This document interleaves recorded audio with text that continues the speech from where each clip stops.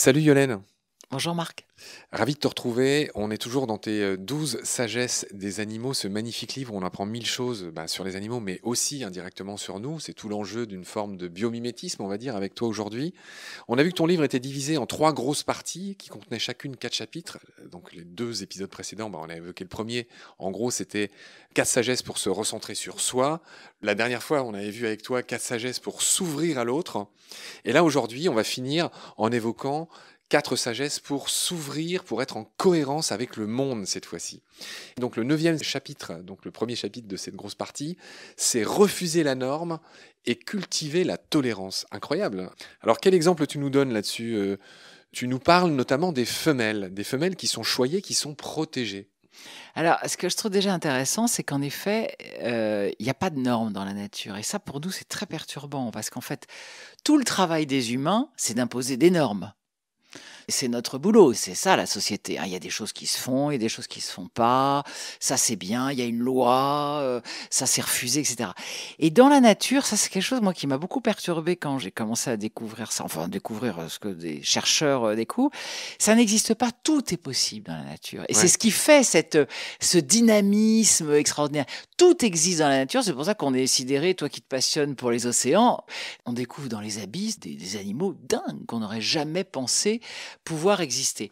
Donc c'est ça la vraie leçon, il n'y a pas de normes et c'est incroyable. Dans ce chapitre, euh, chère Yolène, tu évoques une question qui est fascinante, celle de l'homosexualité.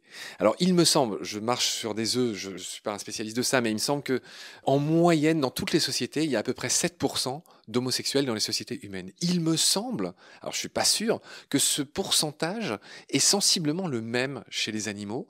Et en fait, l'homosexualité existe depuis toujours chez les animaux, euh, même la plurisexualité, que sais-je. Il y a beaucoup de choses qui sont pas toutes dans la norme. Et je me dis, et des chercheurs beaucoup plus qualifiés que moi pour le faire le disent aussi, la déviance, le, cette espèce de non-respect euh, systématique de la norme est une constante dans les sociétés animales. Alors, il y a plusieurs choses que je dirais là-dessus. Déjà, sur les chiffres, moi, je resterai prudente. J'y crois pas, parce que d'abord, qu'est-ce que c'est qu'être homosexuel? Il y a plein de gens qui le sont sans le savoir. Tu peux l'être euh, à une période de ta vie, tu l'es plus après. Bon, finalement, en fait, euh, c'est un peu compliqué, je trouve, la définition de l'homosexualité. Oui, mais c'était juste pour dire qu'il y a une frange des populations, qu'elles soient humaines ou pas, qui est toujours homosexuelle. Tout à fait. Quelle que soit, tu vois, la culture du pays, l'éducation. Tout à fait. Mais je, je pense que c'est compliqué de, tu vois, quand on parle de normes, là aussi, on peut pas s'empêcher, nous, les humains, de toujours vouloir donner des chiffres et des normes, etc. Je pense que c'est compliqué, que c'est un sujet hyper, euh, hyper complexe. Mais bon, en tout cas, pour revenir sur les animaux, je n'en sais rien. Ce que je sais, c'est que moi j'ai beaucoup interviewé notamment Fleur d'Auger qui a étudié, mais c'est un, un, sujet qui commence à être très étudié. En gros, ce qui est passionnant, c'est que dès le XVIIIe siècle, on s'est rendu compte qu'il y avait des hannetons qui étaient homosexuels on avait beau, même en période de reproduction, leur mettre toutes les plus belles femelles du monde, ils retournaient toujours entre mâles. Et les chercheurs, et c'est ça qui est génial, se sont dit Waouh, si je dis ça, mais je passe au bûcher, là. Je me fais, mais incendier, et la vie va être très courte. Donc pendant des siècles, ils n'ont rien dit. Donc c'est montrer quand même à quel point nous sommes euh, aveugles dans des espèces de croyances qui nous empêchent en fait de nous ouvrir sur les choses. Et depuis très peu de temps, depuis les années 70, enfin il y a quand même des chercheurs qui osent. Et donc on travaille enfin sur l'homosexualité. On sait qu'il y a déjà 450 espèces qui ont été répertoriées mais il y en a sans doute beaucoup plus. Mais on sait déjà qu'il y a des lions, beaucoup d'oiseaux, beaucoup d'insectes. Euh, il y a énormément d'animaux qui sont homosexuels. Et comme tu le disais tout à l'heure, toutes sortes d'homosexualité, euh, bi, euh, féminine, tri, masculine, enfin tout ce qu'on veut. Et ce que je trouve génial, c'est que au départ, pour se rassurer, tout le monde dit oui, oui, mais c'est juste parce que c'est utile. Donc oui, on voit deux mâles euh, noirs qui vivent ensemble parce que c'est plus facile pour eux de s'occuper des petits, etc. Et en fait, on se rend compte que c'est aussi juste pour le plaisir. Alors ça, c'est très perturbant. Donc au début, les chercheurs se disent oh, quand même, hein, c'est pas bien. Ça. Et je trouve ça génial. Et on a vu, on a vu des femelles se masturber entre elles. On a vu des antilopes. On a vu des tas d'animaux. En effet, être homosexuel uniquement parce que c'est bon. Donc ça, c'est quand même une sacrée. Donc quand on entend certains qui disent l'homosexualité, c'est pas naturel, ben alors là, c'est faux. Ah ben c'est plus que faux. C'est que c'est au contraire totalement naturel. Oui. Très juste. Donc c'est très perturbant, évidemment, pour certains débats politiques. et C'est très compliqué pour certains de comprendre ça. Et j'adore cet exemple. C'est ce que j'adore dans le fait d'étudier, de s'intéresser aux animaux, c'est que c'est un immense appel à la tolérance, en fait. Le fait qu'il n'y ait pas de normes, tout est possible. Chacun d'entre vous, là, qui nous écoutez, vous avez le droit d'être comme vous l'êtes, comme vous le sentez, parce que c'est comme ça. Parce que dans la nature, c'est comme ça. Il y a que nous, avec nos normes étriquées, nos petits tiroirs, nos petits machins, où on veut toujours que tout soit bien rigide, bien rentré dans un carré. C'est nous qui imposons ça. Mais dans la nature, tout est autorisé. Et ça, c'est génial. C'est une des plus belles leçons de vie, je trouve. Ton appel est entendu, mais dans les sociétés humaines qui ont colonisé le monde, et on sait bien qu'on est beaucoup trop nombreux, en tout cas en regard de la vie sauvage qui est en train de crever à petit feu, euh, qu'on on prend toute la place. Mais c'était pas pour le dire une énième fois, c'était juste pour dire que, y compris chez les humains, la liberté des uns s'arrête là où commence celle des autres cette régulation se fait aussi. C'est un petit bémol que j'ajoute à ce que tu dis, c'est-à-dire que ben non, on peut pas faire tout ce qu'on se veut. Pour prendre un exemple extrême, je peux pas m'amuser à violer des petites filles. Je me suis mal exprimé. C'est pas qu'on peut faire ce qu'on veut, on peut être, s'accepter tel qu'on est en tout cas, même si c'est pas dans les normes. C'est ça que je voulais dire. Je me suis mal exprimé. C'est qu'en fait, on, on, on peut s'accepter même si on a une sexualité un peu différente. Alors après, en effet, tu as raison pas quand ça va dans la souffrance de l'autre. Hein. C'est pas, sûr. Euh, je suis pédophile, je m'accepte comme ça, c'est super, et du coup, euh, je vais violer tous les petits euh, enfants que je retrouve. Je évidemment. préciser que je suis justement Bien pas sûr, pédophile, non, mais tu... non, exemple. non, mais t'as raison, c'est évident, évident. On n'a peut-être pas assez dit que c'est pas parce que les mâles font les beaux et tout ça, et qu'on a l'impression de ne voir que, que que les femelles sont pas importantes. Elles sont très importantes. Tu dis que chez les bonobos, tout le monde cherche de quoi manger, mais ce sont les femelles qui décident de la répartition entre chacun. Alors, les femelles sont très importantes, mais autant que les mâles. Et ça aussi, c'est intéressant de voir que dans nos sociétés où malheureusement euh, les femmes restent dans beaucoup de parties du monde euh, exploitées, ah, violées, euh, voilées, dominées, méprisées, etc. Une fois de plus, dans la nature, ça n'existe pas parce que ce n'est pas intelligent c'est pas efficace. Mais, oui, exactement. Une femelle, tu as besoin d'elle. Tu as besoin qu'elle soit, au contraire, épanouie, forte pour qu'elle aille, euh, ben, en effet, comme chez les bonobos, choisir la bonne nourriture, élever les petits, etc. Donc, on se rend compte que chez les animaux, il n'y a pas ce qu'on appelle, nous, la charge mentale. c'est vraiment un truc d'humain. Il y a une répartition des tâches. Donc, il y a d'ailleurs pas mal d'espèces où le mâle s'occupe très, très bien de ses petits. Mais sinon, tout le monde essaye à peu près de se répartir les tâches parce qu'il y a déjà assez de boulot comme ça. Le chapitre suivant s'intitule S'adapter. Donc l'adaptabilité, s'adapter aux circonstances. Chapitre très important. Et là, tu cites, j'ai l'impression, quelqu'un qui est un de tes amis qui a d'ailleurs préfacé un bouquin dont on parlera dans une autre émission avec toi, un de tes bouquins euh, qui est important, mais très différent, qui s'intitule Zéro souffrance animale. C'est Didier Van Kovelart, donc cet écrivain qui relève que l'abeille a inventé la flexibilité de l'emploi. que veut dire Didier? J'adore. Bah, c'est un merveilleux euh, vulgarisateur scientifique, comme on dit, qui sait dire avec beaucoup d'humour euh, des tas de choses passionnantes. Bah, c'est vrai que chez les abeilles, en fait, c'est un peu ce qu'on appelle l'intelligence collective sur lequel on découvre des tas de choses. Elles vont avoir une dizaine de métiers, pas tous les mêmes métiers, en fonction de leur euh, possibilités, de leur force, de leur âge. Donc, par exemple, elles vont démarrer, elles sont, elles nettoient les algues, euh, voilà, concierges, et elles vont terminer butineuses parce qu'il faut avoir de l'expérience, exploratrice, exploratrice, etc. Et c'est vrai que nous, on a on fait nos études bien spécialisées. Mmh. Après, on a notre CDI. Et mon Dieu, si on n'a plus de CDI, c'est la panique, mmh. etc. Mais il n'y a que Macron qui devient président à 40 balais chez nous. c'est vrai. Et, et, en effet, les animaux, et notamment les abeilles, nous apprennent à être flexibles, à s'adapter en fonction des besoins du groupe, etc. Et je pense que c'est une des grandes qualités euh, des animaux. On voit bien aujourd'hui, on est dans un monde qui est en plein bouleversement avec des choses assez graves et on est incapable de s'adapter rapidement. Quand on a des habitudes, c'est chaud pour changer d'habitude. Et ça, il faut vraiment qu'on se bouge là-dessus. Tu rappelles l'importance d'aller voir ailleurs dans tous les sens du terme. Tu rappelles cette phrase très connue de Michel de Montaigne, Les voyages forment la jeunesse. Je vais un peu vite, mais tu évoques le sac de couchage du poisson perroquet en exemple d'adaptabilité. Explique-nous euh, pourquoi tu dis ça. Bah ça c'est dingue aussi, c'est quelque chose aussi qu'on a découvert assez récemment. C'est-à-dire que le poisson perroquet, quand il a besoin de se reposer, mais qu'il a peur de la nuit de, la nuit, de s'endormir n'importe où, avec son, avec sa bouche, il arrive à, à se créer une espèce de, de gang, oui, comme un sac de couchage transparent dans lequel il se met et qui en plus, là où c'est génial, qui masque son odeur. Alors, qui masque son odeur, qui fait barrière à tout ce qui est euh, virus, euh, donc en plus qu'il protège comme une chambre stérile presque, et qui, comme c'est transparent, lui permettent de voir arriver les prédateurs et en même temps qui lui permettent de se reposer euh, au chaud, enfin je dirais à l'abri. C'est quand même, enfin, c'est hallucinant quoi. Effectivement, et c'est pas le seul. Il y a beaucoup de poissons qui s'endorment la nuit dans des rochers. Hein. Ils sont pas à l'air libre, enfin à l'air libre. Ils sont pas dans l'eau libre. On voit ça aussi, il me semble, dans le film de Laurent Balesta qui est aussi passé à, Absolument. sous Gravillon. Tous ces poissons qui la nuit, euh, dans la terreur de la nuit, quand les requins commencent à se mettre en chasse, tout simplement, ils sont tous planqués dans les rochers. Et en plus, il y a leur sac de couchage pour masquer leur odeur, pour être les moins repérables Ah, possible. Et le poisson perroquet n'est pas le seul à faire ça. Tu évoques aussi un sous-chapitre qui s'appelle Quand on arrive en ville. Et là, tu évoques euh, voilà, aussi toutes les adaptations des animaux à nos villes. Alors, c'est un sujet passionnant. Euh, D'ailleurs, euh, il y a Joël Zask, qui est une philosophe qui a travaillé beaucoup euh, là-dessus.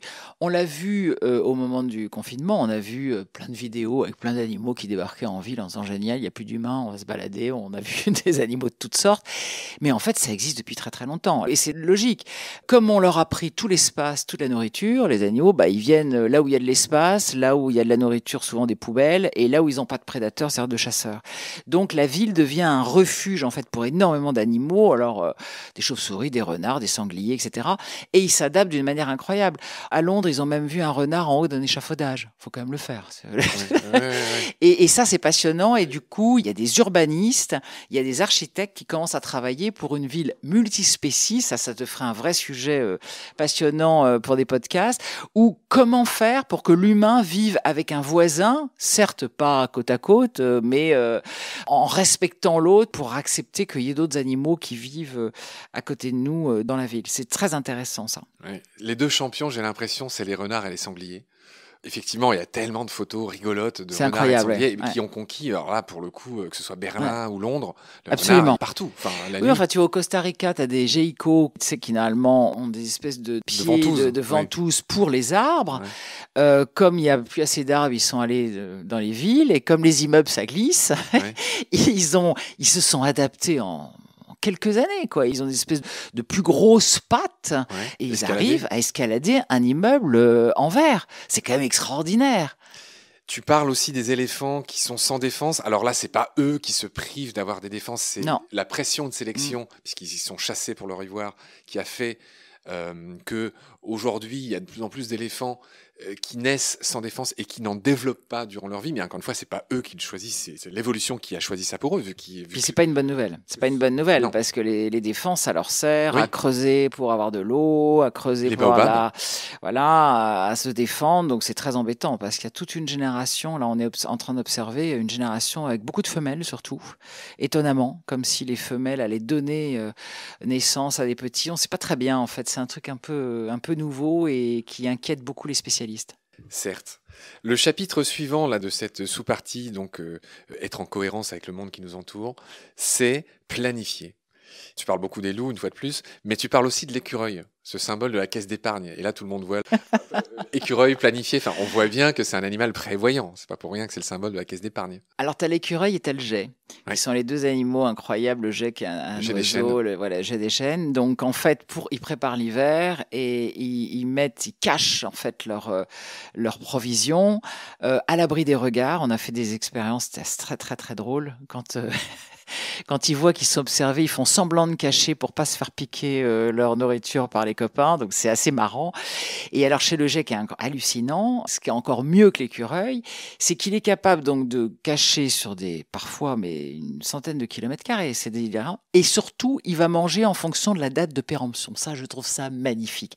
C'est-à-dire qu'il va d'abord, quand c'est le début de l'hiver, manger ce qui est frais, les raisins, les trucs comme ça, et puis il va finir pour la fin de l'hiver tout ce qui ne se pourrit pas, les noisettes, euh, les trucs comme ça. Comme quoi, vous- tu vois, il n'a pas besoin d'avoir comme nous la date de péremption sur ce qu'il achète. il sait déjà lui-même ce qui est bon ou pas pour lui. Dans, dans les deux cas, il faut quand même ajouter que euh, la gestion n'est pas optimale, même s'il y a une intelligence euh, et une utilisation euh, fabuleuse.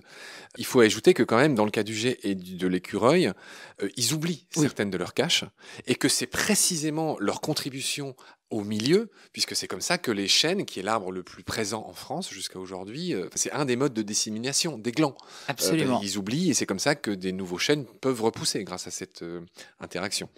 Dans ce chapitre qui s'intitule Planifier, tu donnes un exemple d'Olivier Clair, d'une grenouille dans une casserole qu'on chaufferait progressivement à 50 degrés. J'aimerais bien que tu nous expliques ce que veut dire cette métaphore, cet exercice de pensée.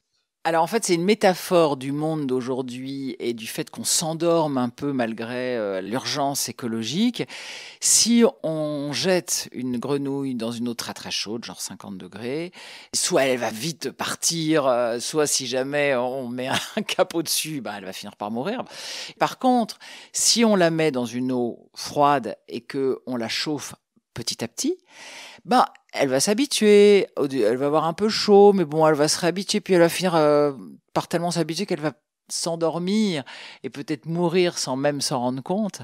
Et donc c'est l'exemple qu'on donne pour nous, c'est-à-dire qu'on est en train de s'habituer en fait à avoir un monde là, on s'est habitué à avoir des tornades, des tas de problèmes climatiques et on s'habitue, on continue et, et on va vers un danger terrible. Donc c'est une jolie métaphore du monde dans lequel on vit euh, à travers la grenouille.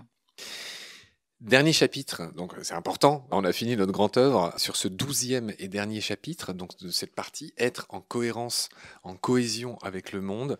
Ce chapitre s'intitule Gérer ce qui nous entoure. Tu donnes un exemple classique que tous les naturalistes connaissent, euh, c'est l'exemple de ces loups et de la gestion de leurs proies dans le parc du Yellowstone. C'est très intéressant parce que ça a été à l'origine de toute une utopie formidable qu'on appelle le réensauvagement aujourd'hui, qui est une utopie réalisable, donc c'est merveilleux. En gros, très rapidement, parce que sinon ça serait trop long, à Yellowstone, très très beau parc, les éleveurs font pression parce que, comme aujourd'hui en France, les loups euh, tuent leurs animaux, etc. On abat tous les loups, on les éradique le parc commence à s'appauvrir énormément. Il y a trop d'herbivores qui mangent trop l'herbe. Du coup, l'abrutissement. Euh, voilà, l'abrutissement. Même les rivières commencent à avoir moins d'herbe, donc du coup, il y a moins de poissons. Enfin, moins d'espèces. Et les écologistes, depuis des années, réclament, réclament, réclament. Alors tout ça se fait à grands frais, évidemment. Réclament absolument le retour des loups, arrivent à peu près à obtenir le retour des loups. On repaye encore beaucoup d'argent après avoir éradiqué pour faire revenir le loup. Et à partir de là, tout redevient normal. Alors, les loups... pas d'un claquement de doigts. Non, bien sûr, en quelques années. Tout ça se passe en euh, quasiment 80 ans. Hein. Petit à petit, les vieux herbivores, les, les trop jeunes, l'excès, etc., est régulé, entre guillemets, euh, par les loups et tout redevient à peu près dans son... Et c'est ce qui fait qu'aujourd'hui, on est beaucoup en train de se dire qu'en fait, il faut laisser la nature gérer elle-même les choses. Désolé, messieurs les chasseurs, mais vous ne savez pas réguler du tout la nature. Et si on les laissait un peu faire... C'est tout le discours de Baptiste Morisot. Absolument. Et s'il y avait des loups en France, il y aurait moins de sangliers, surtout si les chasseurs arrêtaient de faire des élevages, euh, de réengrainer, etc. Il y aurait moins de sangliers, etc., etc., etc. Et du coup, ça donne ce qu'on appelle aujourd'hui le réensauvagement, qui est quelque chose de magnifique. C'est des gens ou des associations comme l'ASPAS en France qui rachètent des terrains et qui laissent entièrement la nature se refaire.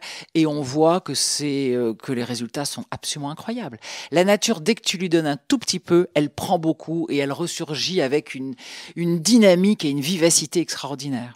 Tu rappelles que beaucoup d'animaux euh, ne font pas des petits n'importe où, n'importe quand, n'importe comment. Non, C'est-à-dire que quand les conditions ne le permettent pas, bah, ils font pas d'enfants ou même ils sacrifient euh, ceux qui sont mal nés dans des conditions qui vont pas permettre euh, la survie de la mère ou que sais-je. Bah, un des exemples les plus extraordinaires, c'est récent aussi comme découverte, c'est les chauves-souris. On s'est rendu compte que certaines chauves-souris, quand elles sont euh, pleine, si elle voit que c'est compliqué, il n'y a plus à manger ou il y a eu une catastrophe climatique, ensemble, elles décident, alors comment, on ne sait pas, comment, qui va avorter, elles s'auto-avortent celles qui décident de s'auto-avorter vont se sacrifier quelque part pour trouver la nourriture et viennent nourrir celles qui continuent d'avoir des petits. C'est dingue ça. Ça, c'est une découverte assez récente qu'on a fait. Bah, les chauves-souris, c'est un animal euh, hallucinant. La maman rat, par exemple, quand on dit on va être envahi par les rats, c'est complètement faux. C'est impossible. La maman rat, avant de faire des petits, elle voit si elle a de quoi manger, nidifier et boire. Si elle a les trois conditions, elle fait des petits, sinon elle n'en fait pas. Il y a beaucoup d'exemples comme ça qui montrent que les, les animaux sont pas fous, hein. ils n'ont pas envie de faire des petits s'ils savent pas les nourrir. Dans ce chapitre, euh, tu évoques euh, le fait de trouver la bonne distance entre nous. Et là encore, tu parles du cheval, tu parles aussi d'apprivoiser ses émotions. Ces deux, ces deux aspects vont ensemble. Qu'est-ce que tu as dans ta besace comme exemple? Bah, La bonne distance, c'est intéressant parce qu'on le voit beaucoup avec le cheval. Moi, j'ai des chevaux, donc j'aime beaucoup les chevaux, puis je les observe forcément un peu facilement. Si tu vas trop près de ton cheval, tu es là, plein d'amour, tu te précipites sur lui, etc., c'est dangereux il peut te marcher dessus sans faire exprès, il peut te donner un coup. Euh, euh, bon. et, en fait, c'est ce qu'on appelle la bonne distance. -dire, et, et je trouve qu'entre humains, c'est la même chose. On peut s'aimer follement, mais il faut laisser l'autre respirer. Pas savoir couper le cordon, être trop fusionnel, être trop euh, envahissant, être trop collant. Et on voit bien qu'il y a beaucoup d'êtres humains qui ont des problèmes là-dessus. Et les animaux nous donnent une bonne leçon. tu peux très bien aimer, on le voit avec un chien. Si tu aimes trop un chien, si es, parfois, souvent, tu te fais mordre il y a beaucoup de morsures à cause de ça. Et c'est le chien qu'on euthanasie. Exactement. Alors qu'en fait, le chien, il a eu peur, tout simplement. Tu t'es jeté sur lui et il se dit, mais, mais c'est qui, quoi? Est-ce que je suis à la bonne distance, euh, de toi Est-ce que la distance micro est bonne? Oui, mais alors nous, on a une distance en plus euh, micro et puis liée un peu au Covid. Alors là, c'est encore autre chose. à cause du Covid. Le Covid a un peu cassé les trucs sur la distance. Ça, c'est encore une autre, autre discussion, mais bon. D'accord.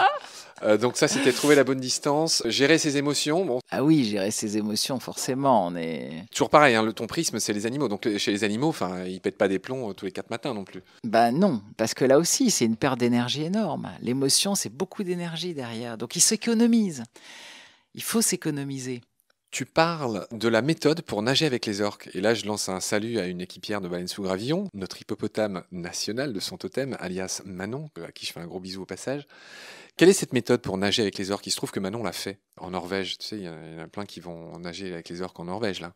Alors, euh, c'est Pierre-Robert Delatour qui est un, apnéiste et qui plonge très très souvent justement en Norvège avec les, orques. Et il a, il a inventé ça parce qu'en fait, si tu vas face aux orques, à leur rencontre, elles, sont, elles se disent Oula, c'est qui? Et elles partent.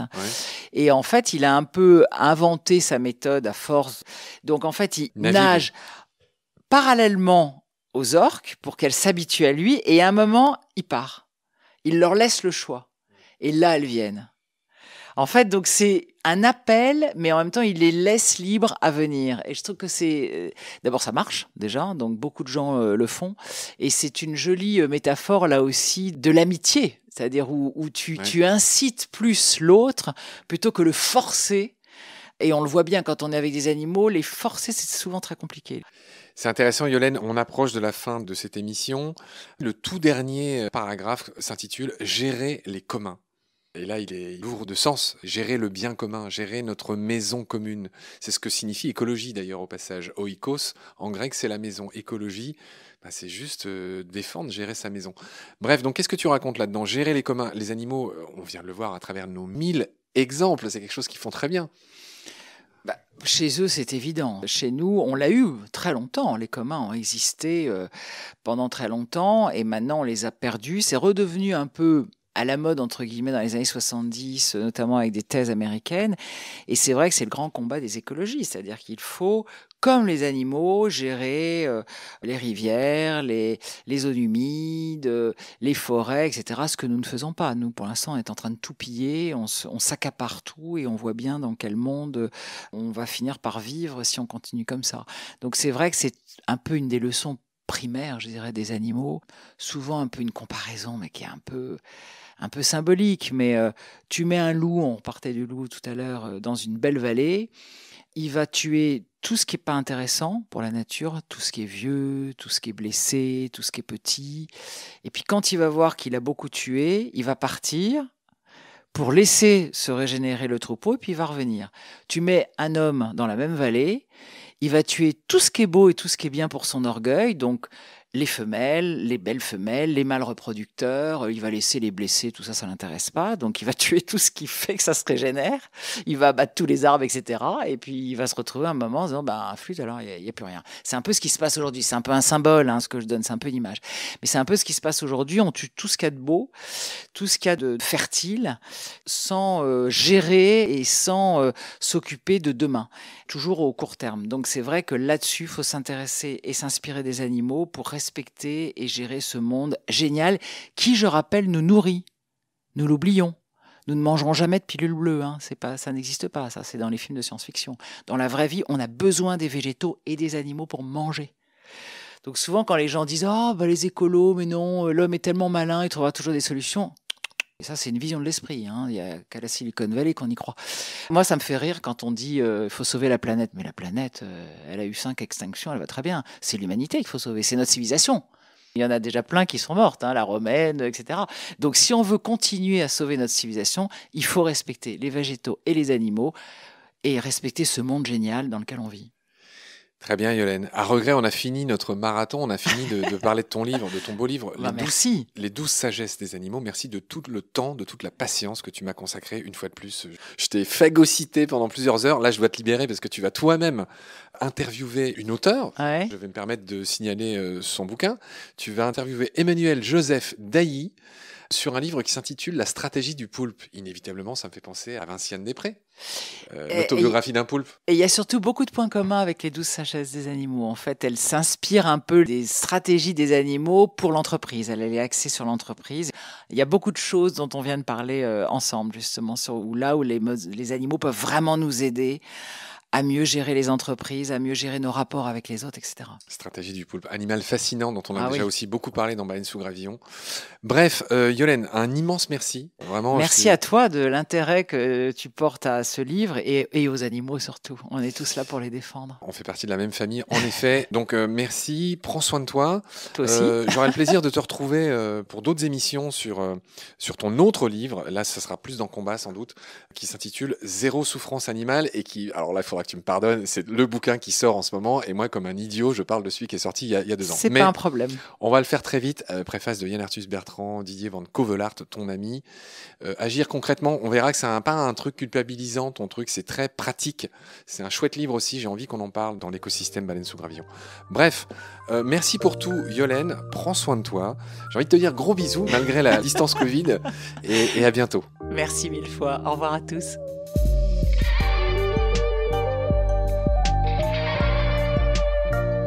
C'est la fin de cet épisode. Merci de l'avoir suivi. Pour continuer, nous avons besoin de votre soutien. Et vous pouvez nous aider simplement, en quelques clics et gratuitement. Il suffit par exemple d'utiliser le moteur de recherche solidaire Lilo.